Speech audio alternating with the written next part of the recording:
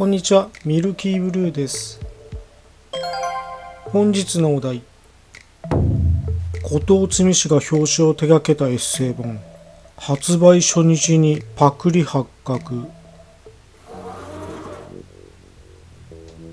後藤摘氏のトレパク問題。毎日毎日出てくるね。これちょっとね、由々しき問題と思うよ。今回何が出てきたのか。それはね、後藤摘氏が手掛けたあるエッセイ本の表紙のイラストがパクリじゃないの？という指摘が上がってるんよね。そのエッセイ本がこちら。彼女の愛が重すぎる。なんかいい感じのイラストよね。で発売された途端ネット民がこのイラストがトレパクではないかということで探した結果これが出てきたらしい。すごくない？ネット民。よく見つけるよね。もう完全にこれよね。この参考にした写真を反転しておそらく線画でこう大体のおおよそをつけて塗りは自分でやってるみたいなね。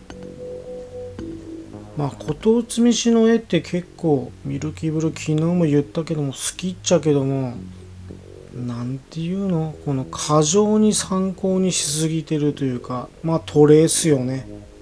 おそらくトレースしてるとしか思えんちゃんね。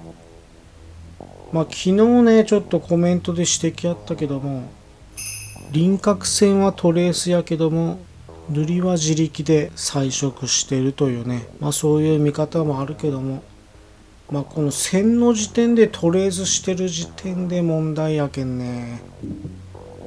まあこれちょっとどうにかせんと毎日どんどん出てくるが。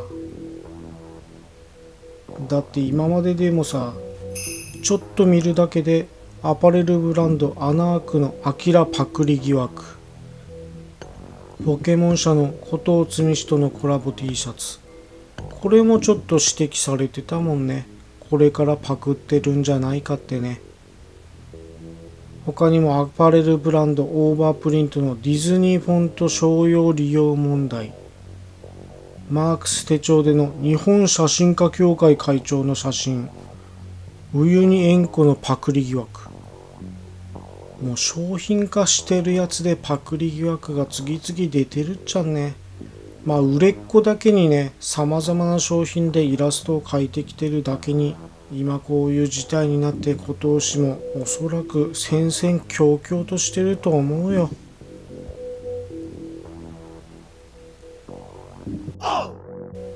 でもミルキーブルよく考えていったっちゃけども、後藤摘氏、バリバリ売れっ子やん。で、様々なイラストを手掛けてね、納期も迫って、時間がない中、いろんな絵を量産せないかんやん。で、アイデアに困って、そういったネットの写真からトレースしてやってしまう。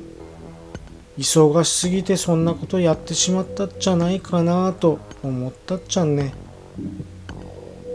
後藤氏をかばうつもりはないけども、あまりにも忙しすぎてついトレパクに走ってしまった。そんな気がするっちゃね。まあやっちゃいかんちゃけども。まあ後藤摘氏のトレパク問題。おそらくねずーっとまだまだ出てくると思うよ。何せこんだけ炎上して多くの人がねネット特定班としていろいろ探してるみたいやけんね。まあこの流れなかなか落ち着かんと思うしやっぱりねコラボする企業も怖くなってくるっちゃないかな。まあそういったものをね払拭するために昨日も言ったけども後藤摘氏はそういったネットの憶測を払拭できるような作品をねオリジナル作品をドカーンと発表すりゃいいと思うよ。まあ、ここまでなったらね、ちょっと企業側も謙遜する恐れあるんで、後藤摘氏は何かしら手を打つというか、動くべきだと思います。一部報道では、こと罪はもはや罪状態なのかとか書かれてるけんね。何もせんやったら本当に積まれて消えていかざるを得なくなる可能性も出てくるけんね。そうならんためにも何かしらのアクションを起こすことが重要だと思います。ではご視聴ありがとうございました。それでは。